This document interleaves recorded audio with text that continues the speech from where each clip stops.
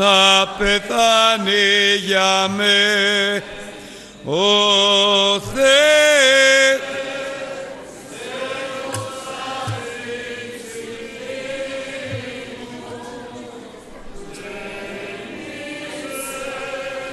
Στην καρδιά μου χαρά μου δώσες τη γλυκιά σου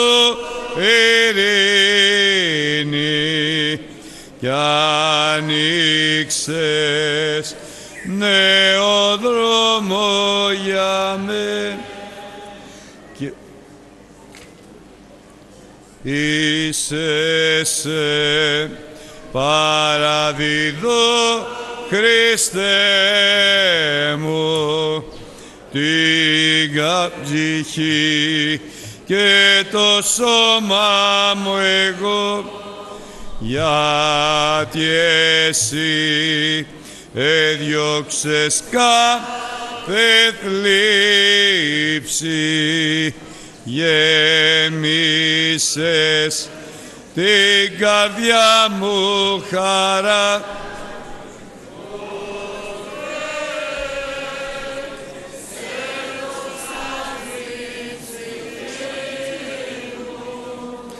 γεμίσες την καρδιά μου χαρά μου δώσες. Τη γλυκιά σου ειρήνη κι ανοίξες νέο δρόμο. Αμήν. Αγαπητοί αδελφοί Σωτήρη και Φρόσον, προσέρχεστε αυτοβούλος και αβιάστος εις την Ιερά Τελετή αυτή του γάμου. Αμήν. Αγαπητοί αδελφοί, συγγενείς και φίλοι, προσήλθαμε εδώ ενώπιον του Θεού και της παρευρισκομένης Εκκλησίας για να προσευχηθούμε στον Κύριο και Θεό μας και να Τον παρακαλέσουμε να ενώσει τον αδελφό μας το Σωτήρη και την αδελφή μας τη Φρόσο με τον ιερό δεσμό του γάμου και να τους κάνει σήμερα μία οικογένεια. Αν κάποιος από εσάς γνωρίζει κάποια αιτία για την οποία δεν μπορούν οι δύο αυτοί νέοι να παντρευτούν, ας μιλήσει τώρα, αλλιώς σας σιωπά. Ας προσευχηθούμε.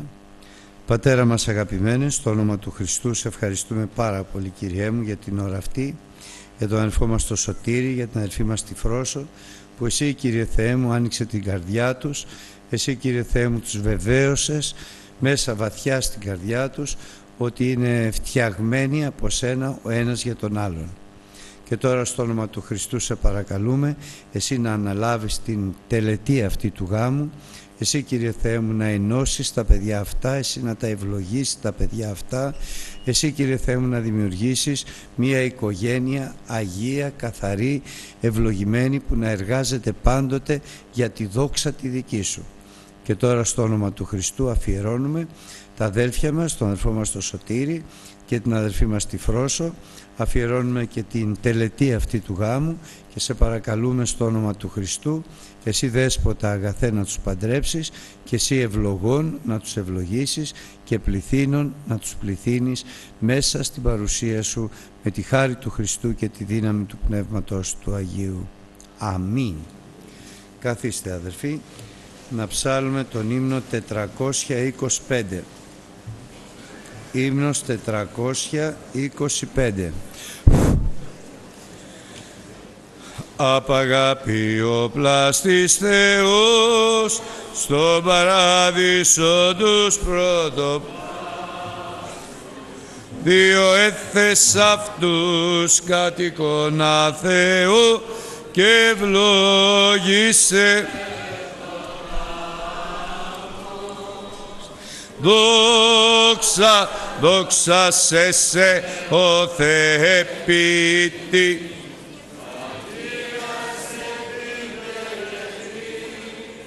και τους δύο μαζί μελονύμφους αυτούς ευλογήσε Πατέρα.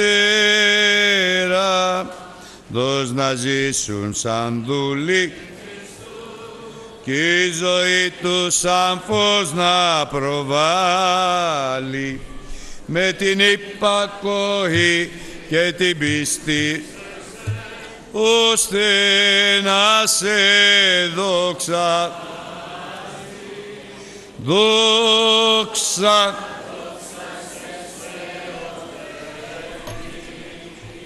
Αγίασε την τελετή και τους δύο.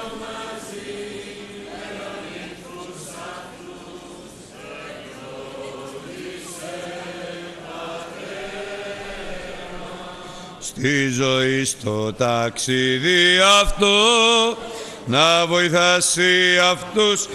Θεμέρα και δυνάμει αυτούς β' αυτούς ουρανίε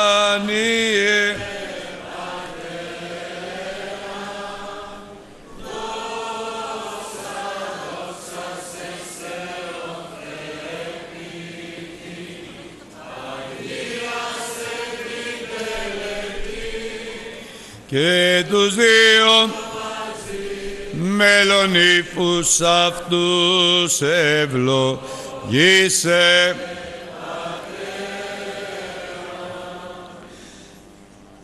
Σας παρακαλώ ποιος έχει παρκάρει απέναντι στο πάρκιν, δηλαδή του σκλαβενίτη, να πάρει το αυτοκίνητό του από εκεί γιατί κλείνει και το βράδυ δεν θα μπορέσετε να το πάρετε. Εάν κάποιος έχει παρκάρει απέναντι στο σκλαβενίτη.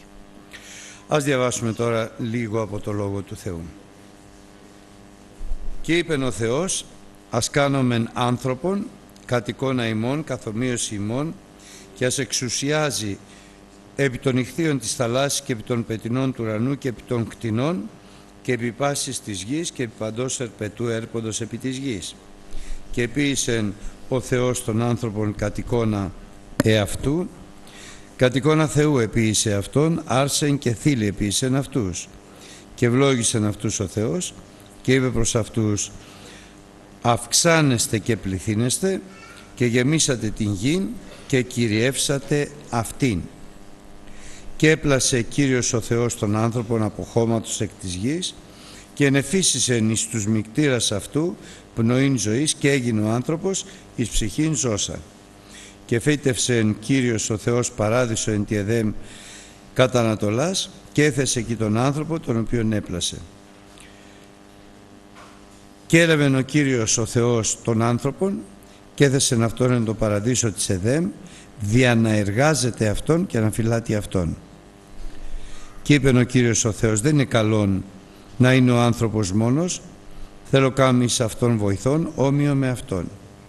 Έπλασε δε ο Κύριος ο Θεός εκ της γης πάντα τα ζώα και πάντα τα πετινά και έφερεν αυτά προς τον Αδάμ δια να είδει πώς να ονομάσει αυτά και ό,τι όνομα ήθελε δώσει ο Αδάμις πανέψυχον τούτο είναι το όνομα αυτού και έδωκε ο Αδάμ ονόματα εις πάντα τα κτίνη και εις τα πτηνά του ουρανού και εις πάντα τα ζώα του αγρού εις δε τον Αδάμ ευρίσκετο βοηθός, δεν ευρίσκετο βοηθός όμοιος με αυτόν και επέβαλε Κύριος ο Θεός έκσταση επί τον Αδάμ και εκοιμήθη και έλαβε μία εκ των πλευρών αυτού και έκλεισε με σάρκα τον τόπον αυτής και κατεσκεύασε Κύριος ο Θεός την πλευρά την οποία έλαβε από το Αδάμ εις γυναίκα και έφερε αυτήν προς τον Αδάμ. Και είπε ο Αδάμ, τούτο είναι τώρα ο στούν εκ των οστέων μου και σάρξε εκ της σαρκός μου, αυτή θέλει ονομαστεί ανδρής, διότι εκ του ανδρός αυτή ελήφθη. Και για τούτο θέλει αφήσει ο άνθρωπος τον πατέρα αυτού και τη μητέρα αυτού και θέλει προσκοληθεί στη γυναίκα αυτού και θέλουν συνείστε οι δύο η σάρκα μία Αμήν. Εν αρχή επίησεν ο Θεός τον ουρανό και τη γη. Ο Θεός είναι άναρχος, δεν έχει αρχή, δεν έχει τέλος, αλλά κάποια στιγμή, τουλάχιστον έτσι μας πληροφορεί ο Λόγος του Θεού, μας ενημερώνει ο Λόγος του Θεού, αποφάσισε να δημιουργήσει τόπο κατοίκησης. Για, αυτό, για αυτόν, για τον εαυτό του. Είναι ο ουρανός και γέμισε με τα στρατεύματα του ουρανού με αγγέλους, αρχαγγέλους, χερουβίμ και σεραφείμ. Όμως ο Θεός ήταν μόνος. Όχι εκεί το τρίποδο σε παρακαλώ αδερφέ. Πάνω καλύτερα πήγαινε στο πατάρι. Ο, ο Κύριος όμως, ο Θεός ήταν μόνος. Δεν υπήρχε όμοιος με Αυτόν. Υπήρχαν πολλά δημιουργήματα, αλλά δεν υπήρχε κάποιος να είναι όμοιος με Αυτόν, γι' αυτό και απ' αρχής βέβαια ήταν έτσι το σχέδιό του. Έφτιαξε τη γη, όπου επρόκειτο και να την κοσμήσει. Είναι το ωραιότερο άστρο, αν και μικρό, τουλάχιστον σε αυτά που γνωρίζουμε. Αποφάσισε και να την κοσμήσει, αλλά αποφάσισε και να τη γεμίσει με πτηνά, ζώα, ψάρια και έφτασε η ώρα να δημιουργήσει ένα πλάσμα κατ' εικόνα και ομοίωση αυτού. Το οποίο δημιούργημα αυτό δεν είναι όπως παρουσιάζουν οι άνθρωποι ένας πίθηκος ή μια άλλη μορφή που εξελίχθηκε στον άνθρωπο γιατί από την αρχή που τον δημιούργησε τον άνθρωπο και τον έπλασε μάλιστα εκ του χώματος και ενεφίσισε εις αυτόν να είναι εις ψυχήν ζώσα. Είχε πνεύμα, ψυχή και σώμα ο άνθρωπος και μάλιστα τέτοιο πνεύμα που να μπορεί να δίνει ονόματα και έδωσε ονόματα, μας πληροφορεί ο Λόγος του Θεού, για να μην φανταστούμε ποτέ ότι προερχόμαστε από ζώα, αλλά έδωσε ο Αδάμ ευθύς εξ αρχής ονόματα σε όλα τα κτίνη και σε όλα τα ζώα και έκτοτε είχε προσδιοριστεί από τον Αδάμ με τη βούληση του Θεού η ζωή του ανθρώπου στη γη.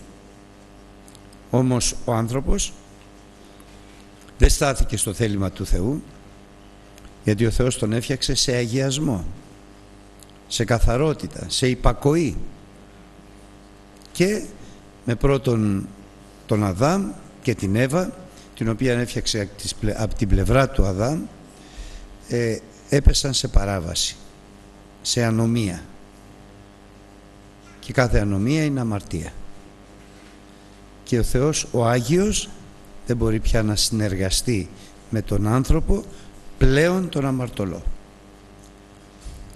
Εξεδιώχθη από τον παράδεισο αλλά εντωμεταξύ στον παράδεισο αφού δημιούργησε από την πλευρά του Αδάμ την Εύα, του την έδειξε ο ένας αποφάσισε ότι θα αγαπάει τον άλλον για όσο ζει. Και με αυτή την αγάπη που ο Θεός έβαλε στην καρδιά του Αδάμ για την Εύα και της Εύας για τον Αδάμ δημιουργήθηκε, θεσπίστηκε ο πρώτος γάμος τον οποίο βέβαια ο Θεός εθέσπισε δεν είναι ανακάλυψη ανθρώπου ούτε εφεύρεση ανθρώπου. Απαρχής εξέλεξε ο Αδάμ εν πλήρη συνειδήσει όχι ένα τέρι όπως ένα ζώο το άλλο ζώο με ένστικτο εν πλήρη συνειδήσει εξέλεξε αυτήν που ο Θεός είχε ετοιμάσει για τον Αδάμ να είναι όμοια με τον Αδάμ και να είναι βοηθός του Αδάμ και όταν η Γραφή λέει βοηθός δεν εννοεί οικιακή βοηθός αλλά εννοεί ότι αυτό που ο άντρας δεν μπορεί να κάνει το κάνει η γυναίκα και αυτό που η γυναίκα δεν μπορεί να κάνει το κάνει ο άντρας. Εκείνο όμως που έχει σημασία είναι ότι ο πρώτος γάμος που θεσπίστηκε από το Θεό μέσα στην Εδέμ σε αγιασμό πριν έλθει η παράβασης έγινε εν πλήρη συνειδήση ότι αυτήν ο Θεός την Εύα την έφτιαξε μόνο για τον Αδάμ και αυτόν τον Αδάμ τον έφτιαξε ο Θεός μόνο για την Εύα. Και αυτό είναι το μέγα θαύμα το οποίο μέχρι τώρα ακόμη διατηρείται καθώς η ποσόστοση, η συμμετοχή στον παγκόσμιο πληθυσμό ανδρών και γυναικών είναι 50 και 50% ό,τι και να συμβεί, ό,τι και να υπάρχει, είναι 50-50%, μάλιστα με μία μικρή διαφορά υπέρ των γυναικών που οφείλεται στο ότι έχουν λίγο μεγαλύτερο όριο ζωής. Ο άνθρωπος όμως αμάρτησε, έφτασε η αμαρτία στο πλήρες και ο Θεός αποφάσισε να καταστρέψει τον άνθρωπο τότε γιατί δεν μπορούσε να τον διορθώσει. Και διάλεξε έναν άνθρωπο τον Νόε. Έφτιαξαν κυβωτό. Ήρθε ο κατακλυσμός. Κατάστρεψε τους πάντες. Και ξεκίνησε από την αρχή ο Θεός το ανθρώπινο γένος με τον Νόε, τη γυναίκα του, τους τρεις γιους του, το Σιμ, το Χάμ και τον Ιάφεθ και τις τρεις νύφες του. Από αυτούς τους τρεις ανθρώπους διεσπάρισαν σε όλη την οικουμένη η ανθρωπότητα και είμαστε σήμερα όπως είμαστε. Και όλοι έχουμε μία καταγωγή. Η καταγωγή μας είναι τα παιδιά του Νόε. Καταρχάς τα παιδιά του Αδάμ και της Εύας, στη συνέχεια όμως τα παιδιά του Νόε. Ο Θεός μας τα εξηγεί τόσο απλά και καθαρά για να ξέρουμε ποιοι είμαστε, ποιος μας έχει κάνει, τι θα συμβεί στη ζωή μας, αλλά το σημαντικότερο τι θέλει ο Θεός να συμβεί στη ζωή του καθενός μας. Γιατί; Γιατί ο Θεός είναι αυτός που ευλογών και μάλιστα μεθόρκου υπεσχέθη, υπεσχέθη και επιβεβαίωσε με όρκο ότι εγώ ευλογών θα σας ευλογήσω και πληθύνων θα πληθύνω τα σπέρμα σας. Και φτάσαμε μέχρι εδώ και φτάσαμε σήμερα μέχρι το Σωτήρι και τη Φρόσο. Δύο παιδιά που δέχθηκαν στη ζωή τους τις αλήθειες του Ευαγγελίου και απέρριψαν τα ψέματα των ανθρώπων που δέχθηκαν στη ζωή τους τον Ιησούν Χριστόν γι' αυτό και ο Θεός τους έδωσε εξουσία να γίνουν τέκνα Θεού και που αποδεχόμενοι τον Χριστόν απολαμβάνουν όλα τα δώρα του Θεού κατά την υπόσχεση του Θεού ευλογών θα σε ευλογήσω και πληθύνων θα σε πληθύνω. Και έτσι αυτά τα δύο αδέλφια γεννημένα σε τελείως διαφορετικούς χώρους και τόπους βρέθηκαν στην εκκλησία και ξαφνικά συνειδητοποίησαν όπως η Εύα όταν είδε τον Αδάμ ότι αυτός θα είναι ο άντρας μου και όπως ο Αδάμ όταν είδε την Εύα αυτή θα είναι η γυναίκα μου. Προσευχήθηκαν, τους βεβαίωσε ο Θεός και έδωσαν αμοιβαία υπόσχεση γάμου. Και τώρα αρχίζουν μια καινούρια ζωή στην παρουσία του Θεού με τη χάρη του Χριστού και τη δύναμη του Πνεύματος του Αγίου. Γνωρίζοντας με τα πάσης βεβαιότητος και ο Σωτήρης ότι η φρόσο είναι αυτή που ο Θεός είχε ετοιμάσει προκαταβολής κόσμου καθώς εκάλεσε ημάς ο Θεός προκαταβολής κόσμου εξέλεξε ημάς ο Θεός προκαταβολής κόσμου δια να είμεθα Άγιοι άμομοι δια της αγάπης. Το τέλος της υποθέσεως λοιπόν είναι Άγιοι και άμομοι δια της αγάπης. Αυτό είναι το θέλημα του Θεού, το αγαθόν, το ευάρεστον και το τέλειον. Ο αγιασμός σας. Αυτή είναι η πρόθεση του Θεού, αυτό είναι το θέλημα του Θεού και αυτό είναι η υπόσχεση του Θεού για σας. Όσο μένετε σε αγιασμό σώματος, ψυχής και πνεύματος, τόσο θα ισχύει σε εσάς η υπόσχεση του Θεού ευλογών θα σας ευλογήσω και πληθύνων θα σας πληθύνω. Ο αγιασμός όμως βεβαίως είναι προσωπικός και δεν υπάρχει καμία αμφιβολία σε αυτό γι' αυτό και ο Κύριος μας λέει προσέχετε, αγρυπνείτε και προσεύχεστε όμως επειδή σήμερα ο Θεός θα σας παντρέψει και θα σας κάνει ένα ο αγιασμός σας είναι και οικογενειακός. Και πάλι ο αγιασμός σας είναι σώματος, ψυχής και πνεύματος. Και εκείνο που ενδιαφέρει το Θεό είναι αυτό το οποίο δημιουργεί σήμερα και Αυτός δημιουργεί την οικογένειά σας. Αυτό που τώρα που Αυτός δημιουργεί ο Θεός σήμερα να το αυξάνει και μέσα από αυτό που δημιουργεί να δοξάζεται Αυτός. Αυτή είναι η αποστολή σας. Με τη ζωή σας να δοξάζεται ο Θεός. Με την οικογένειά σας να δοξάζεται ο Θεός. Αυτή ήταν και η πρόθεση του Θεού στον Αδάμ και την Εύα. Αλλά απέτυχε ο Αδάμ και η Εύα. Και είναι πάρα πολύ εύκολο να αποτύχεις εάν δεν προσέχεις αυτά που λέει ο Λόγος του Θεού, δεν προσέχετε, δεν προσεύχεστε και δεν αγρυπνείτε. Πάρα πολύ εύκολα. Αυτό το οποίο ο Θεός δημιουργεί σήμερα να καταστραφεί. Και αν αυτό που δημιουργεί ο Θεός σήμερα καταστραφεί, οι συνέπειες θα είναι και επώδυνες αλλά και καταστροφικές. Για να διατηρηθεί, εάν διατηρηθεί θα αυξάνει και θα ευλογείται. Εάν δεν αυξάνει και ευλογείται δεν θα διατηρηθεί.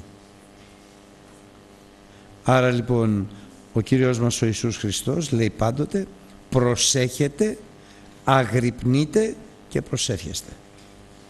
Προσέχετε τη ζωή σας καθώς είσαστε κι εσείς φτιαγμένοι τριαδικοί, σώμα, ψυχή και πνεύμα, προσέχετε τη ζωή σας, αγρυπνείτε ως προς τη σωτηρία της ψυχής σας και προσεύχεστε με το πνεύμα σας να έχετε ενότητα με το Θεό. Δεν υπάρχει άλλη προϋπόθεση και δεν υπάρχει άλλος δρόμος για σας. Ένα, και όχι μόνο για σας, αλλά σήμερα για σας. Ένας είναι ο δρόμος σας, ο αγιασμός. Σώματος, ψυχής και πνεύματος. Προσέχετε, αγρυπνείτε και προσεύχεστε. Δυστυχώς ο Αδάμ δεν τα κατάφερε. Και δεν τα κατάφερε γιατί Του είχε δώσει μια εντολή ο Θεός. Να μην φάνε ποτέ από τον καρπό του δέντρου της γνώσεως του καλού και του κακού. Άρα είχε βάλει στο μέσο του παραδείσου το δέντρο της ζωής. Αυτή η απαγόρευση όμως δημιούργησε δελεασμό πρώτα στην καρδιά της Εύας. Με αποτέλεσμα να γυρίζει γύρω γύρω από το δέντρο της γνώσεως του καλού και του κακού και ο Αδάμ να μην την παρακολουθεί και να μην ενδιαφέρεται. Την αγαπούσε αλλά δεν την πρόσεχε και δεν τη φρόντισε. Η εντολή θα δούμε παρακάτω είναι να περιθάλπτεις και να φροντίζεις τη γυναίκα σου και να εκτρέφεις. Ο Αδάμ την άφηνε. Το αποτέλεσμα είναι όταν απομακρυνθεί, όχι ότι χωρίσαν, αγαπιόντουσαν. Όταν απομακρυνθεί όμως ο ένας από τον άλλον, τότε και η παρουσία του Θεού απομακρύνεται και είναι αφύλακτη η γυναίκα σου και είναι αφύλακτος ο άντρας σου. Την ευθύνη λοιπόν της φύλαξης της φρόσος την έχεις εσύ και την ευθύνη της φύλαξης του σωτήρη την έχεις εσύ. Σύ είσαι ο φύλακας της αδελφής σου, σύ είσαι ο φύλακας του αδελφού σου. Γιατί; Γιατί πρώτα πρώτα είσαστε αδέλφια. Σε, σίγουρα θα πρέπει να γίνετε φίλοι και τότε θα είσαστε καλοί σύζυγοι και αδελφοί και φίλοι και σύζυγοι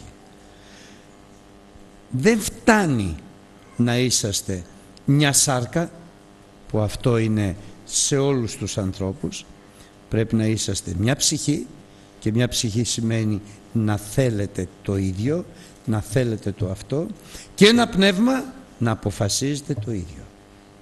Δεν μπορεί δηλαδή να θέλει ο ένας από εδώ και ο άλλος από εκεί γιατί στο τέλος θα αποφασίζει ο ένας από εδώ και ο άλλος από εκεί. Αυτό όμως είναι ακριβώς το αντίθετο από τον αγιασμό. Γιατί ο αγιασμός τι κάνει, ενώνει. Ένα σώμα, μια ψυχή, ένα πνεύμα.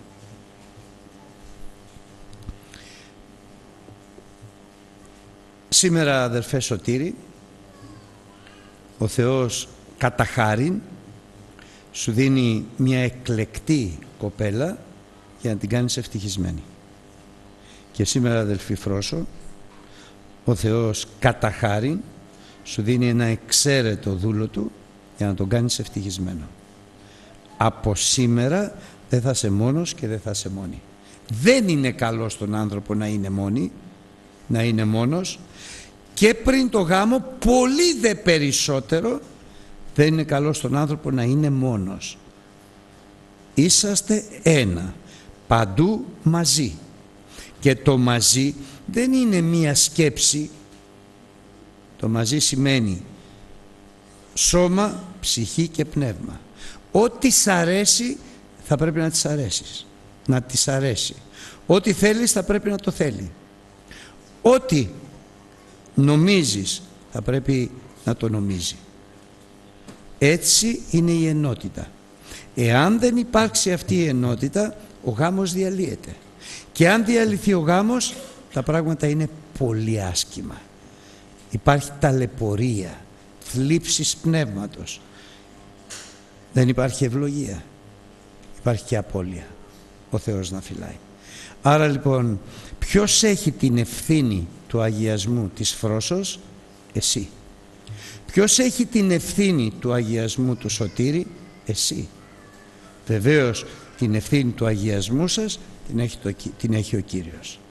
Όμως αυτό δεν είναι κάτι που δημιουργεί βάρος, άγχος, γιατί ο Λόγος του Θεού μας βεβαιώνει ότι το βάρος της οικογένειας εσύ δεν μπορείς να τα αντέξεις. Είναι μικρές οι πλάτες σου. Μπορεί όμως να τα αντέξει ο Χριστός. Και το βάρος της οικογένειας φρόσωμου εσύ δεν μπορείς να το αντέξεις. Δεν είναι θέμα δύναμης, αλλά μπορεί να τα αντέξει ο Χριστός. Εκείνο λοιπόν που μας προτρέπει ο Λόγος του Θεού για να έχετε μία αρέσκεια, μία θέληση και μία γνώμη είναι να πλησιάσετε κάθε ένας μόνος του αλλά και δυο μαζί τον Θεό εν το ονόματι του Χριστού Διαπνεύματος Αγίου. Τότε τα πάντα είναι δυνατά εις το Θεό και τα πάντα είναι δυνατά εις τον πιστεύοντα. Τι σημαίνει πλησιάζω το Θεό; Εμπιστεύομαι τον Θεό, την αγάπη Του, εμπιστεύομαι Αυτόν τον οποίο απέστειλε τον Χριστό και τη χάρη Του και εμπιστεύομαι Αυτόν που μας βάφτισε με Πνεύμα Άγιο, τον Παράκλητο που είναι η δύναμή σας. Από εκεί ξεκινάμε. Σήμερα λοιπόν, μόλις βρεθείτε μετά από όλα αυτά μόνοι σας, το πρώτο πράγμα που θα κάνετε είναι να ζητήσετε την οικογένειά σας να την αναλάβει ο Χριστός. Και μάλιστα να ζητήσει σωτήρι μου, Κύριε κάνε να μ' αγαπάει πάντα η γυναίκα μου, να την αγαπάω τη γυναίκα μου και κάνε να είμαι καλός σύζυγος. Και εσύ το ίδιο αδερφοί και δυνατά να τα ακούσουν όλες οι δυνάμεις. Κάνε σε παρακαλώ να μ' αγαπάει ο Σωτήρης πάντοτε, να αγαπάω το Σωτήρη πάντοτε, πάντοτε και να τον κάνω ευτυχισμένο. Όταν ξεκινήσετε με τον Χριστό είναι η καλή αρχή. Και οι άνθρωποι λένε η αρχή είναι το ίμιση του παντός. Εμείς ξέρουμε ότι ο Χριστός είναι η αρχή και το τέλος. Αρχίζουμε με τον Χριστό, θα τελειώσουμε και, το, και με τον Χριστό. Σήμερα θα αρχίσετε με τον Χριστό. Σήμερα θα προσευχηθούμε και εμείς. Αλλά εκείνο που έχει σημασία δεν είναι να προσευχόμαστε εμείς. Θα προσευχηθούμε και ο Θεός θα μας ακούσει. Αλλά εκείνο που έχει σημασία είναι εσύ να προσεύχεσαι με αγάπη για τη γυναίκα σου και εσύ να προσεύχεσαι με αγάπη για το σωτήρι σήμερα που είναι η αρχή το α μέχρι το τέλος, μέχρι το ω που θα έρθει ο Κύριος να σας παραλάβει μαζί με όλη την Εκκλησία.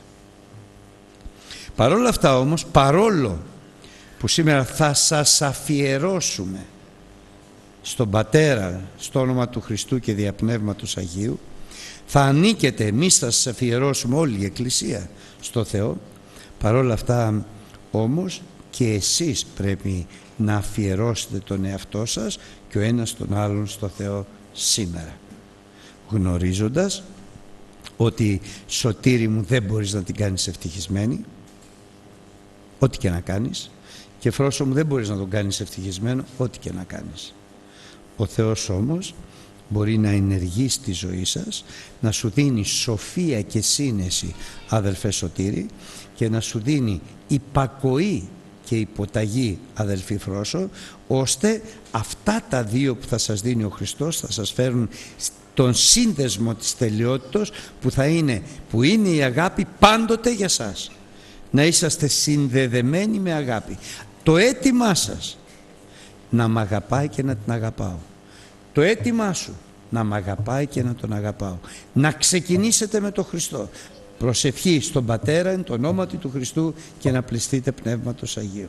Είναι ό,τι το καλύτερο μπορείτε να κάνετε σήμερα για την καλή συνέχεια γιατί εκείνο που έχει σημασία δεν είναι το σήμερα ούτε το αύριο. Η συνέχεια έχει σημασία και το πιο σωστό ακόμη ούτε η συνέχεια, το τέλος έχει σημασία.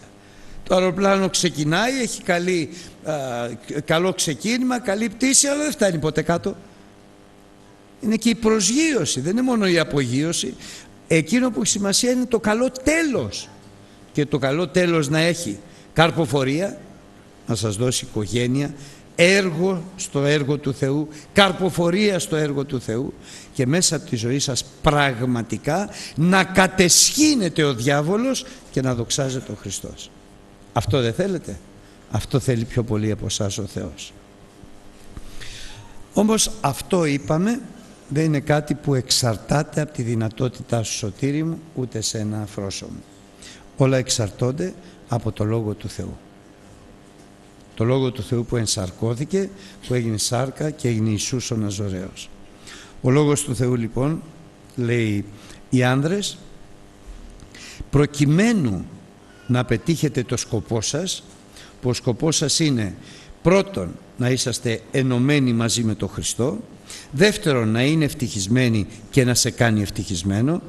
Τρίτον, να έχετε καρπό πολύ και ο καρπός σας να μένει, γιατί ο Χριστός λέει «Σας διέταξα να πάτε είναι η διαταγή».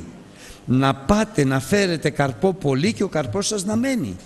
Είναι διαταγή, είναι εντολή. Και είναι εντολή ευλογίας, όπως η πρώτη εντολή που έδωσε ο Θεός. Ήταν αυξάνεστε και πληθύνεστε και γεμίσατε τη γη και κατακυριεύσατε τη γη. Η εντολή που σας, έχει, που σας έχει δώσει και σας δίνει ο Χριστός είναι να φέρετε καρπό πολύ και ο καρπός σας να μένει. Για να υπάρξει καρποφορία που μόνο ο Θεός σας χαρίζει καρποφορία και καλή και ευλογημένη συνέχεια με άριστο τέλος την αρπαγή της Εκκλησίας ξεκινάμε όπως είπαμε με προσευχή εσύ και εσύ ο ένας για τον άλλον αλλά και με αποφάσεις. Οι αποφάσεις είναι η εντολή του Θεού. Δεν μπορείς να έχεις άλλες αποφάσεις. Οποιεσδήποτε άλλες δικές σου αποφάσεις θα αποτύχουν και θα σε οδηγούν σε αδιέξοδα. Μόνο ο Λόγος του Θεού είναι η δύναμη του Θεού που σώζει τους πιστεύοντας. Εάν θέλεις να είσαι σωσμένος εσύ και η οικογένειά σου είναι το Ευαγγέλιο του Χριστού και η εμπιστοσύνη σου στο Ευαγγέλιο του Χριστού. Δεν εμπιστεύεσαι την Φρόσο και εσύ Φρόσο δεν εμπιστεύεσαι τον Σωτήρη παρόλο που εμπιστευόσαστε το ένας στον άλλον αλλά η εμπιστοσύνη και η ελπίδα και τον δυο σας είναι ο Ιησούς Χριστός. Ο Κύριος σας και ο Θεός σας τώρα και πάντοτε και στους αιώνες των αιώνων. Οι άνδρες διαταγή, εντολή, να αγαπάτε τας γυναίκα σας όχι με αγάπη σαρκική, κοσμική, γήινη που δεν έχει κανένα αποτέλεσμα. Άχρηστη αγάπη. Όποια αγάπη άλλη εκτός από την αγάπη του Θεού θα σας οδηγήσει σε ταλαιπωρία. Να αγαπάς όπως ο Χριστός αγαπάει την Εκκλησία. Πως αγαπάει ο Χριστός την Εκκλησία; Με θυσία δεν την αγαπάει γιατί του κάνει τα χατήρια. Την αγαπάει γι' αυτό και της κάνει τα χατήρια.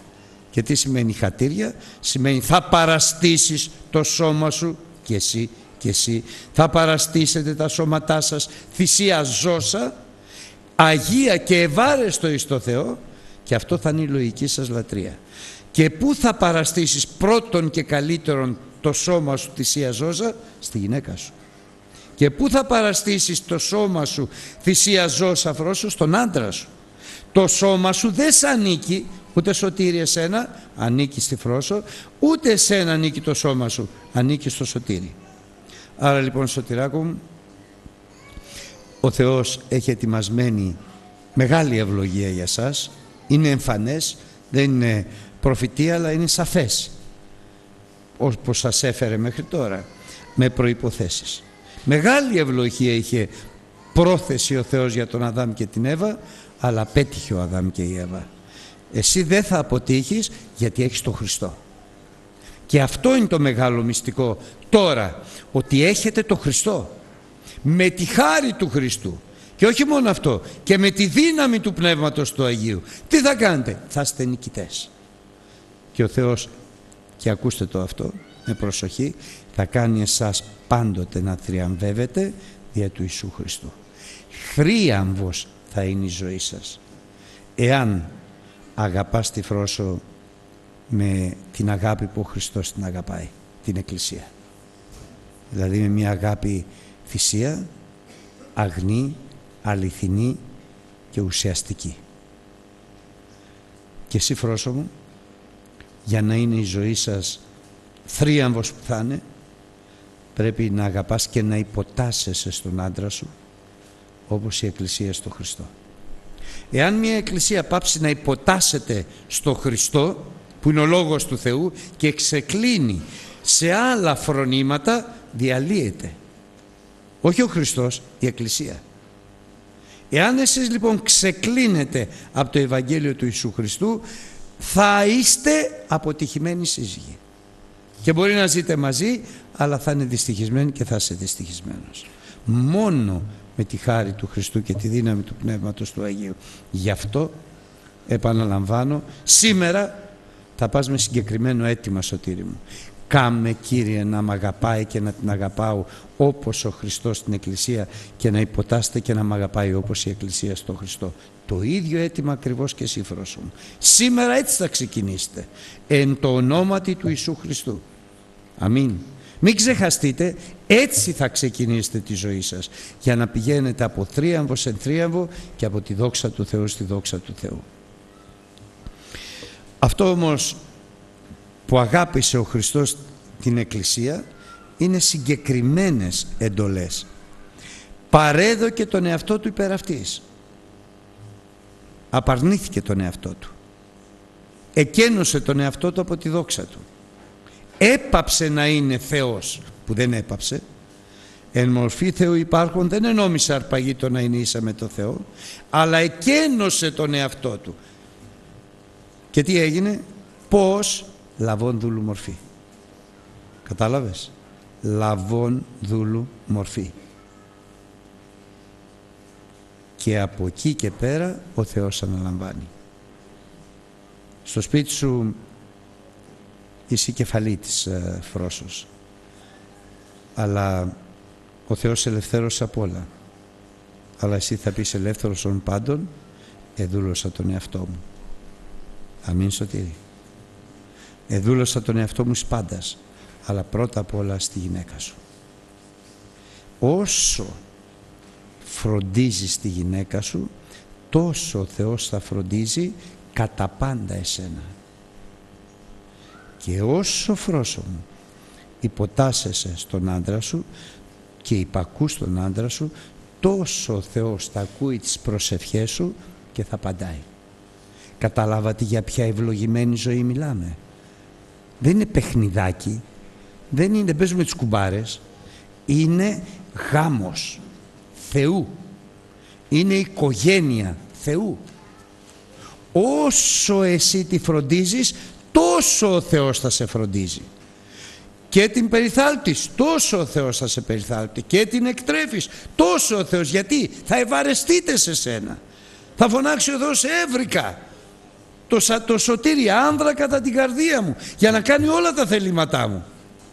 Το ίδιο και εσύ φρόσο μου. Όσο φροντίζεις, υπηρετείς, γιατί δούλη είσαι, δούλος είναι. Δεν τον βλέπεις σαν δούλο σου, τον εαυτό σου βλέπεις σαν δούλη του. Δεν τη βλέπεις σαν δούλη σου, τον εαυτό σου βλέπεις σαν δουλητής, σαν δούλωτης. Αμήν. Αυτές είναι προϋποθέσεις της μεγάλης και απόλυτης ευλογίας.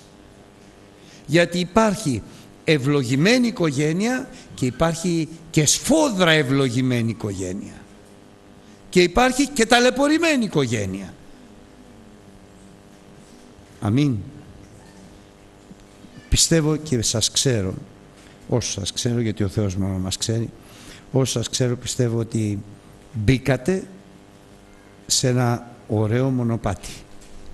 Στενή είναι η πύλη, τεθλιμένη οδός, αλλά αυτό το μονοπάτι οδηγεί στη Βασιλεία των Ουρανών. Οι γυναίκες είπαμε να υποτάσσεστε στους άντρες σας γιατί ο Ανήρ είναι η κεφαλή της γυναικός και ο Χριστός είναι η κεφαλή της Εκκλησίας όπως ο Χριστός είναι η κεφαλή της Εκκλησίας. Άρα η δική σου κεφαλή είναι ο Σωτήρης. Ανάμεσα σε σένα και στο Σωτήρι δεν χωράει άλλος. Ούτε μαμά, ούτε μπαμπάς, ούτε ποιμένας, ούτε πρεσβύτερος, ούτε κανένας. Αυτόν θα υπακούς, αυτόν θα υποτάσσεις. Ανάμεσα σε σένα και τη φρόσο δεν χωράει κανένας, ούτε μπαμπάς, ούτε μαμά, ούτε πρεσβύτερος, ούτε ποιμένας, γιατί αυτή είναι η δόξα σου. Η δόξα σου στη ζωή αυτή, εν Χριστώ Ιησού, λέγεται φρόσο. Και ο Κύριος σου στη ζωή εν Χριστώ λέγεται σωτήρης. Αμήν. Αυτό δεν είναι δύσκολο. Είναι πάρα πολύ εύκολο. Δεν θα θυσιάσετε τίποτα και δεν θα θυσιάσετε τίποτα γιατί ο Θεός θα αυξάνει δια του Πνεύματος του Αγίου την αγάπη Του στην καρδιά σου και στην καρδιά σου του ενός του άλλου. Αμήν. Όμως πέραν του γεγονότος ότι ο Θεός θέλει ο γάμος να είναι τίμιος και η κήτη αμίαντος τώρα πώς θα ζούμε; Την καθημερινότητά μας γιατί έρχεται η καθημερινότητα. Δουλειά, δουλειά ίσως, παιδιά έρχεται μια καθημερινότητα. Μια καθημερινότητα που οι άνθρωποι λένε σωστά φθήρει η καθημερινότητα φθήρει το γάμο. Έξω όμως από την εκκλησία. Μέσα στην εκκλησία η καθημερινότητα φουντώνει το γάμο. Τι σημαίνει φουντώνει το γάμο, φουντώνει την αγάπη για το γάμο, την αγάπη για την οικογένεια. Γι' αυτό δίνει εντολές τώρα πάλι ο Θεός. Πώς θα βιώνετε την καθημερινότητά σας που είναι και το ζητούμενο. Αυτό θα σας φέρει την ευτυχία. Έτσι θα σε κάνει και θα την κάνεις ευτυχισμένη. Οι άνδρες να συνοικείτε με τη γυναίκα σας κατά γνώση με επίγνωση των προβλημάτων της. Λέει ο Λόγος του Θεού κάτι που κατά την ταπεινή μου γνώμη είναι συγκλονιστικό στην επιστολή προς Εβραίους. Λέει ότι ο Κύριος να το διαβάσω από μέσα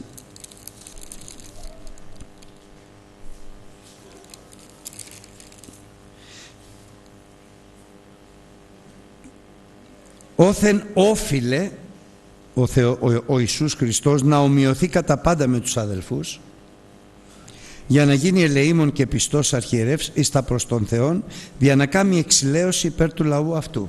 Επειδή ό,τι έπαθε πειραστής επειδή έπαθε πειραστής καθότι έπαθε πειραστής δύναται και να βοηθήσει. Και μετά ο Απόστολος Παύλος λέει κάτι συγκλονιστικό. Όθεν αδερφοί Άγιοι ουρανίου προσκλήσεως μέτοχοι κατανοήσατε τον Απόστολο και Αρχιερέα της Ομολογίας ημών τον Ιησού Χριστό. Κατανοήσατε, γνωρίστε Τον. Είναι μια δυναμία του ανθρώπου, έτσι έχει φτιαχτεί, ο ένας να μην καταλαβαίνει τον άλλον. Άσε που υπήρξε και η Βαβέλ με τις γλώσσες που μπέρδεψε τους ανθρώπους, τους ανθρώπους που κάνανε άλλα από αυτά που ήθελε ο Θεός, αλλά το σημαντικό είναι δεν ξέρεις την καρδιά της. Και εσύ δεν ξέρεις την καρδιά του. Άρα ποτέ δεν μπορεί να σε καταλάβει η φρόσο. Την κούρασή σου, την ταλαιπωρία σου, το θυμό σου, την απογοήτευσή σου, την απελπισία σου. Σε συμπονάει, σε αγαπάει, δεν μπορεί να σε καταλάβει. Αλλά και εσύ ποτέ δεν μπορείς να καταλάβεις τη φρόσο, την ανησυχία της, τους φόβους της. Δεν μπορεί να καταλάβει ένας άνθρωπος άλλον άνθρωπο. Δεν γίνεται. Ο μόνος που μπορεί να σε καταλάβει και ο μόνος που μπορεί να σε καταλάβει φρόσο είναι ο αρχιερέας σου. Μόνο ο Ιησούς Χριστός. Αλλά δεν είναι μόνο αρχιερέας, είναι και Απόστολος. Απεσταλμένος. Βεβαίως δεν μπορείς να την καταλάβεις. Αλλά με τη βοήθεια του Θεού θα την αποκαλύπτει. Και θα καταλαβαίνεις τον πόνο της, την αγωνία της, τους φόβους της. Τι την στενοχωρεί, τι τη λυπεί. Να κατοικείς, να συνοικείς με τη γυναίκα σου κατά γνώση. Να προσεύχεσαι αυτός που σε καταλαβαίνει και την καταλαβαίνει, να σε φωτίζει, να την καταλαβαίνεις και εσύ και εσύ το ίδιο φρόσωμο. Είναι ανάγκη να καταλαβαίνει το ένα τον άλλον. Είναι ανάγκη να μιλάτε μια γλώσσα. Είναι ανάγκη να είσαστε μιας φωνής και μιας γλώσσας. Είναι ανάγκη. Τότε ό,τι κάνετε, όταν δηλαδή συμφωνείτε, ό,τι κάνει το Θεός θα το ευωδώνει. Αν δύο συμφωνήσουν και να οι δύο που γίνονται ένα, πώς γίνονται ένα, καταλαβαίνει ο ένας τον άλλον. Πώς θα καταλάβεις τη φρόσο, τι θέλει, το χαρακτήρα της. Δεν την ξέρεις. Πώς θα καταλάβεις το σωτήρι, το χαρακτήρα του, την ψυχή του, τι θέλει. Δεν το ξέρεις. Μόνο ο Θεός μπορεί να σου δώσει φώτιση, να σας δώσει φώτιση, να καταλαβαίνει το ένα στον άλλον. Και αν ο Θεός πραγματικά σας δώσει φώτιση και καταλαβαίνεις εσύ αδερφέ τη γυναίκα σου τότε πραγματικά μπορείς να τη φροντίζεις και να την περιθάλτεις όταν ξέρεις τις ανάγκες της. Γι' αυτό είστε καλοί αδερφοί, πρέπει να γίνετε καλοί φίλοι για να είσαστε καλοί σύζυγοι. Καλός φίλος τι σημαίνει, δεν σας λέγω πλέον δούλους μου λέει ο Χριστός, αλλά σας λέω φίλους μου, γιατί όσα άκουσα από τον πατέρα μου, σας φανέρωσα. Θες να γίνει καλή φίλη σου και να, είναι, και να είσαι καλός φίλος. Όσα ακούσα από τον Χριστό θα τις τα λες και αντίστροφα. Και όταν είσαστε φίλοι θα γνωριζόσαστε. Ξομολογήστε. Ψάξτε. Ιδιαιτέρως προσευχηθείτε. Δεν μπορεί να υπάρχει κρυφό ανάμεσά σας και να σας οδηγήσει σε ευλογία. Μάλιστα λέει ο Κύριος μας ο Ιησούς Χριστός ότι το φως ήρθε στον κόσμο και οι άνθρωποι αγάπησαν το σκότος μάλλον παρά το φως, τα κρυφά. Διότι σαν πονηρά τα έργα αυτών. Εάν υπάρξει κρυφό είναι βέβαιο ότι υπάρχει πονηριά από πίσω. Και αν υπάρξει πονηριά δεν μπορεί να υπάρξει ευλογία. Όλα καθαρά. Πρέπει απαραίτητος να τη ρωτήσεις τι της αρέσει σε σένα, τι δεν της αρέσει σε σένα, ώστε να φροντίσεις να κάνεις αυτά που της αρέσει για να την κάνεις ευτυχισμένη. Πρέπει να τον ρωτήσεις τις σ' αρέσει σε μένα, τι δεν σ' αρέσει, περίγραψέ μου πώς με θέλεις και μάλιστα με προσευχή για να σφανερώσει πόσο ένας θέλει τον άλλον. Και τότε θα είστε ένα.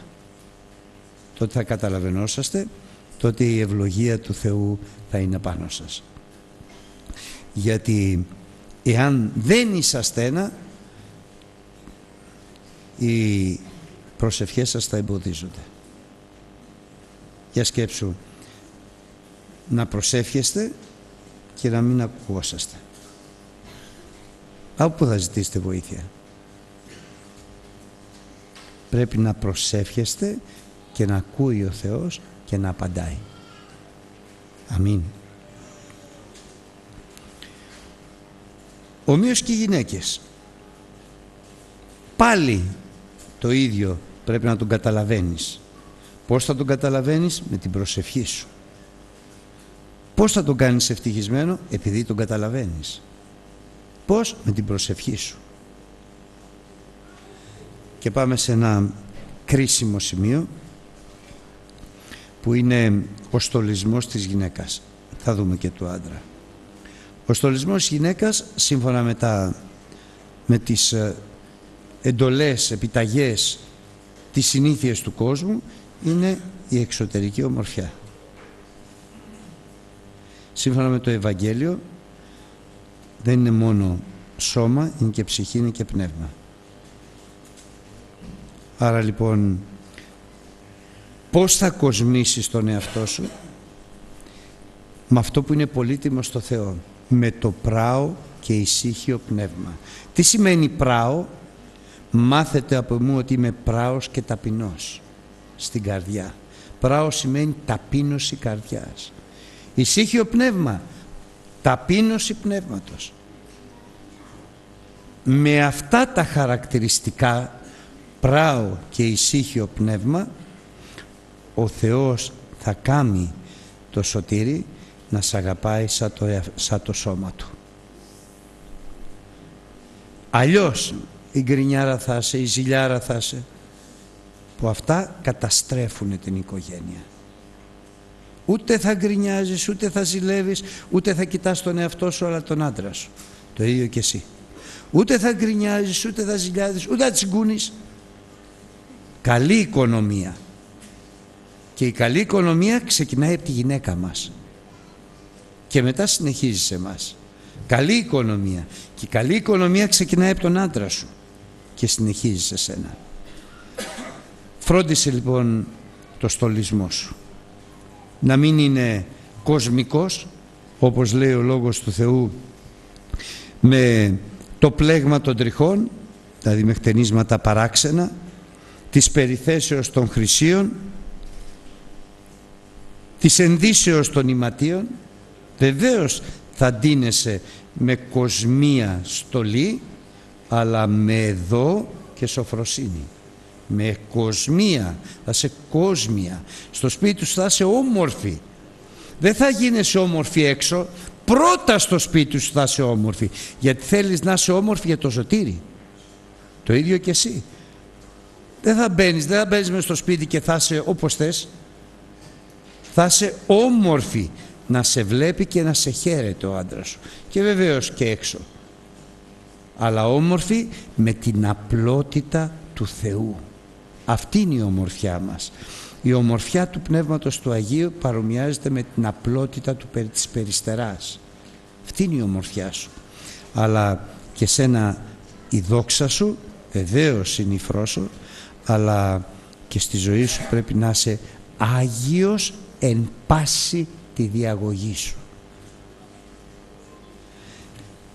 Και τελειώνοντας, αυτά δεν είναι, είναι εντολές, αλλά δεν είναι νομοθεσία που πρέπει να την κάνεις δε και καλά είναι εντολές του Κυρίου που θα σε βοηθήσει να την κάνεις καλύτερα από ό,τι ακούμε γιατί ό,τι ζητάμε ο Θεός κάνει καλύτερα και περισσότερα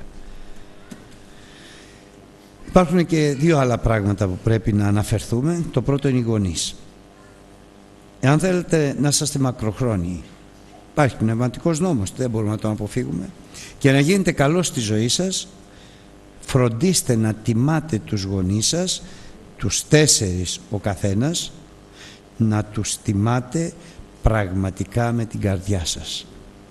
Όχι να υπακούετε τώρα είστε άλλη οικογένεια άφησε ο άνθρωπος τον πατέρα αυτού και τη μητέρα αυτού και προσκολήθηκε στη γυναίκα να τους τιμάτε να τους φροντίζετε να μην τους περιφρονείτε αντιθέτως η αγάπη θα οδηγεί τα βήματά σας για να τους κάνετε ευτυχισμένους. Άλλωστε τι θέλουν οι γονείς σας; Να σας βλέπουν ευτυχισμένοι. Τι θέλουν οι γονείς της Φρόσος; Να τη βλέπουν ευτυχισμένη. Τι θέλουν οι γονείς του Σωτήρη Φρόσο μου; Να τον βλέπουν ευτυχισμένο. Εσύ δεν το θες; Και εμείς το θέλουμε. Άρα λοιπόν πώς θα τιμήσεις τους γονείς του Σωτήρη με το να είναι ευτυχισμένος ο Σωτήρης; Πώς θα τιμήσεις τους γονείς του, της Φρόσος με το να είναι ευτυχισμένη η Φρόσο; Ποιος θα κάνει ευτυχισμένο το Σωτήρη και τη Φρόσο, ο ένας τον άλλον. Και από εκεί και πέρα μαζί θα κάνετε και παιδάκια, θα τους χαρίσετε εγγονάκια. Προσέξτε τα εγγονάκια να μην αποτελέσουν για σας ούτε αντίσταση αλλά ούτε και να τα κακομαθαίνουν Εσείς έχετε την ευθύνη, εσύ της γυναίκας σου και των παιδιών σου και εσύ ιδιαιτέρως σαν οικοφύλακας την ευθύνη του παιδιού σου. Και το δεύτερο είναι που πρέπει να αναφερθώ και τελειώνω είναι οι συζυγικές σχέσεις. Ο Λόγος του Θεού λέει ότι το σώμα σου δεν ανήκει σε σένα στη φρόσο και το σώμα σου δεν ανήκει σε σένα φρόσο προς το σωτήρι. Αυτό τι σημαίνει; Παντού δουλεία. Είσαι δούλος Χριστού και της φρόσος. Είσαι δούλα, δεν λέω δούλη για να το τονίσω, σε δούλα Χριστού και του σωτήρι. Αλλά αυτό που σας ενώνει είναι ο σύνδεσμος τελειότητος που είναι η αγάπη. Άρα εύκολα μπορείς να μην χαλάς χατήρι στη γυναίκα σου, δηλαδή να είσαι δούλος και εύκολα μπορείς να μην χαλάς χατήρι στον άντρα σου και γι' αυτό είσαι δούλη. Η αγάπη καλύπτει πλήθος αματιών και παραλαμβάνω η αγάπη είναι ο σύνδεσμος της τελειότητας. Αμήν. Τελειώνοντας, αγαπητά μου αδέλφια, σας βεβαιώνω ότι η ζωή σας θα είναι από το καλό στο καλύτερο και από ευλογία σε ευλογία με τις προϋποθέσεις του Λόγου του Θεού. Θα είσαστε ευτυχισμένοι. Ξέρεις θα πει ευτυχισμένος. Μακάριος. Θα έχεις μια γυναίκα που θα, που θα σε καμαρώνει και θα την καμαρώνεις. Θα έχεις έναν άντρα που θα σε καμαρώνει και που θα τον καμαρώνεις. Μην είσαι πικρός ποτέ. Ό,τι την πικραίνει, κλείστο από το στόμα. Μην τον προσβάλλεις ποτέ. Απαλή και τρυφερή. Κλείστο. Γιατί εμείς οι άνθρωποι πολλές φορές θυμώνουμε, βγάζουμε λόγια πικρά, όχι πικρά λόγια, όχι προσβλητικά λόγια. Με τιμή και με δόξα Θεού θα συμπεριφέρεσαι το ένα στον άλλον. Αμήν. Ας σηκωθούμε τώρα να προσευχηθούμε αγαπημένοι. Πού είναι οι Βέρες; Βέρες. Πιστεύω λέω να έρθει τα χωρίς Βέρες.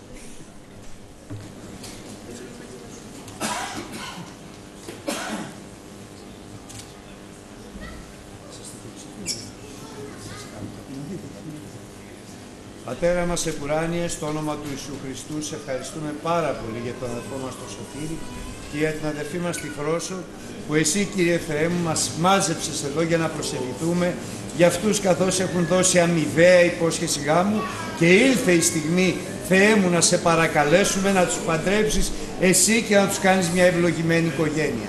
Σε παρακαλούμε στο όνομα του Χριστού ευλόγησε το σωτήρι σε έναν άντρα ευλογημένο Άγιο που να αγαπάει την γυναίκα του και την οικογένειά του.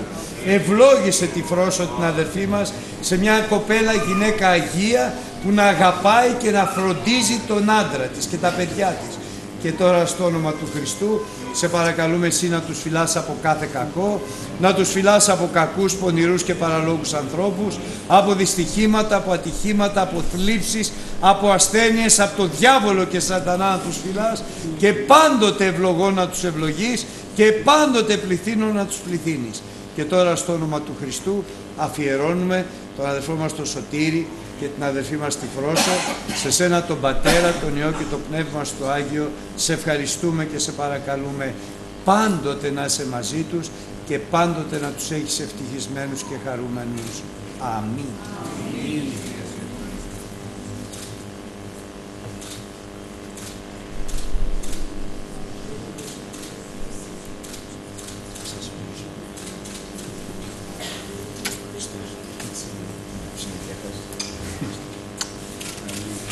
Δόξα. Να ψάλουμε τώρα, αγαπητοί, καθίστε, καθίστε. Το βιβλίο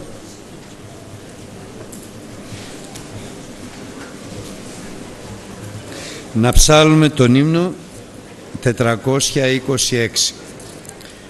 από τα μεγάλα υμνολόγια. Εδώ μεταξύ θα έρθουν τα αδέλφια μας και θα σας προσφέρουν όπως είναι το έθιμο μπουμπουνιέρες και εμείς θα ψέλουμε τον ύμνο 426. Ο δημιούργε των πάντων αγαθών συγχωρήγε.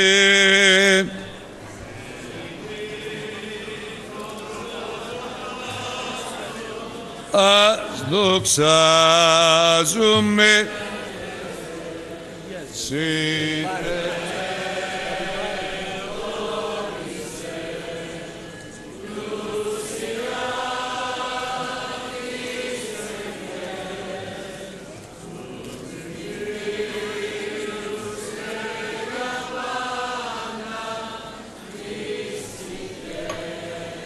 τους ένωσε. Σύ και με Πατέρα με το πνεύμα σου έλθε και τους νέων υποστόδους σύ ευλόγησε Θεέ σύ Θεέ δόρισε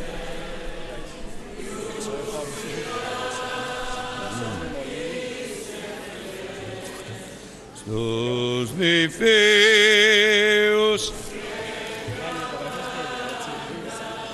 της ψυχής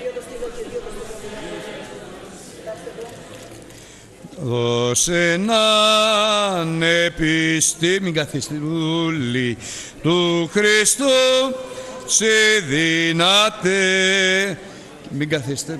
Τη ζωή τους όλοι να τιμούν. Εσέ Θεέ σι Θεέ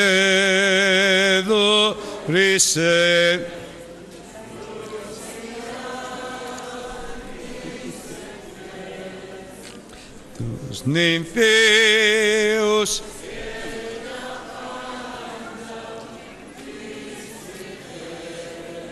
Ας κάνουμε αυτό που ξέχασα να κάνουμε, τις αμοιβαίες υποσχέσεις. Ας μείνουμε εκεί που είμαστε. Αγαπητέ αδελφέ Σωτήρη, είσαι απολύτως βέβαιος ότι ο Κύριος ο Θεός μου σου δίνει, ο Θεός μας σου δίνει την αδελφή μας τη Φρόσο για σύζυγό σου, καθώς έστειλε τον Κύριο Ιησού Χριστό να παραλάβει την εκκλησία του σαν νύμφη και κοσμένη. Είναι υποσχέσεις που δίδονται ενώπιον Θεού και ανθρώπων. Υπόσχεσαι ότι θα αγαπάς αυτήν όπως το δικό σου σώμα καθώς ο Χριστός αγάπησε την Εκκλησία Του και παρέδωκε εαυτόν υπέρ αυτής. Αμήν. Υπόσχεσαι ότι θα αποδίδεις σε αυτήν την οφειλωμένη εύνοια κατά την εντολή του Ευαγγελίου. Αμήν. Υπόσχεσαι ότι θα συνοικείς μαζί της με φρόνηση αποδίδοντας τιμή σε αυτήν ο συσκεύος ασθενέστερο και συγκληρονόμο της χάριτος ζωής. Αμήν. Υπόσχεσαι ότι κανένα πρόσωπο ή περίσταση της ζωής δεν θα σε χωρίσει ποτέ από αυτήν παρά μόνο θάνατος, όπως ο Λόγος του Θεού λέει εκείνο το οποίο ο Θεός συνέζευξε άνθρωπος μη χωριζέτο. Αμήν Χριστέ μου. Αγαπητοί αδελφοί Φρόσο, είσαι απολύτως βεβαία ότι ο Κύριος μας και ο Θεός μας σου δίνει τον αδελφό μας το σωτήρι για σύζυγό σου καθώς έστειλε τον Ιησού Χριστό να βρει και να παραλάβει την Εκκλησία ως νύφη και κοζημένη. Υπόσχεσαι ότι θα αγαπάς και θα σέβεσαι πάντοτε Αυτόν καθώς πρέπει εν Κυρίω. Υπόσχεσαι ότι θα αποδίδεις Αυτόν την οφειλωμένη νεύνοια κατά την εντολή του Ευαγγελίου. Υπόσχεσαι ότι θα συνοικείς μαζί Του με φρόνηση και θα υποτάσσεσαι σε Αυτόν καθώς η Εκκλησία υποτάσσεται στο Χριστό κατά το Λόγο του Κυρίου. Αμήν. Υπόσχεσαι ότι κανένα πρόσωπο ή περίσταση της ζωής δεν θα σε χωρίσει από αυτόν παρά μόνο θάνατος, όπως ο Λόγος του Θεού λέει εκείνο το οποίο ο Θεός συνέζευξε άνθρωπος μη χωριζέτο. Αμήν. Να προσευχηθούμε μια φορά ακόμα. Σε ευχαριστούμε αγαπημένη μας Πατέρα, να ευλογήσεις πολύ το σωτήρι και τη πρόσω κατά πάντα στο όνομα του Χριστού και πάλι αφιερώνουμε τα αδέρφια μας σε σένα τον Πατέρα, τον Υιό και το Πνεύμα στο Άγιο. Και σε παρακαλούμε ευλογών πλούσια να τους ευλογείς και να τους χαρίσεις μια ευλογημένη, αηδία, καθαρή οικογένεια. Που θα λάβει μέρος όλοι μαζί, θα λάβουν μέρος στην αρπαγή της Εκκλησίας σου, στο όνομα του Χριστού μας.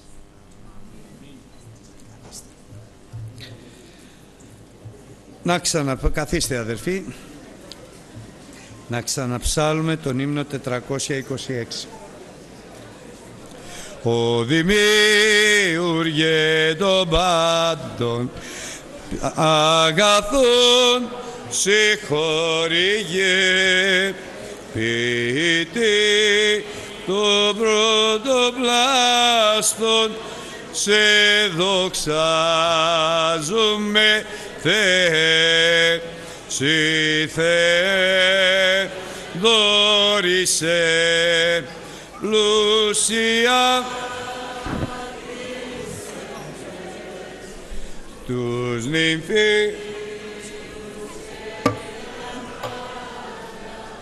τις ψυχές τους ενώσε Συ που θέσπισες το γάμο στην Εδέμ τη θαλερά και ευλόγησες. Πίνα με το θαύμα της Κανά Συ Θεέ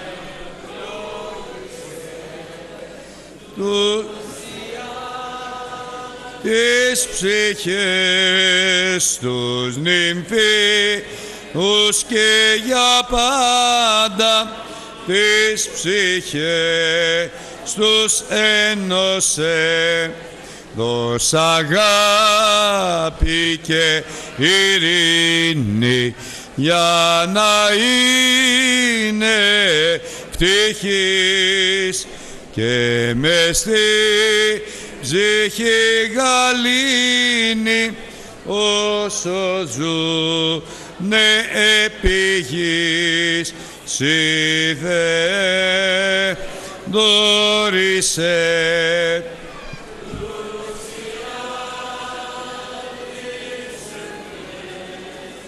στους νυμφίους και για πάντα στους ενώσε. Αμήν. Ο Κύριος να σας ευλογήσει και να σας φυλάξει. Ο Κύριος να επιλάμψει το πρόσωπον αυτού επάνω σας. Ο Κύριος να υψώσει το πρόσωπον αυτού επάνω σας και να σας δώσει τη δική του ειρήνη. Ο Θεός να είναι μαζί σας. Και εδώ τέλειωσε η τελετή του γάμου. Σας ευχαριστούμε που ήρθατε. Σας θυμίζω ότι όλοι είμαστε προσκεκλημένοι σε έναν άλλο γάμο που πιστεύω σύντομα θα λάβει χώρα στο γάμο του Χριστού και της Εκκλησίας. Καλή αντάμωση μέχρι τότε. Τώρα από αυτό το διάδρομο θα έρχεστε να συγχαίρετε, να συγχαίρετε τους α, νεονύμφους μαζί με τους γονείς τους και ύστερα θα πάμε όλοι μαζί κάτω να έχουμε κοινωνία μεταλλήλων. Ο Κύριος να σας ευλογεί.